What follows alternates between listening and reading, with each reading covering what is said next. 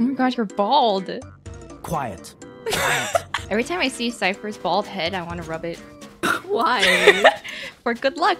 Why are you toast? This is who I am. What do you mean, why? I was born like this. Yo, you guys into like fashion and stuff? I like wearing clothes. I also like wearing Oh, clothes sometimes. I'm actually playing like an iron for real, bro. I am an iron.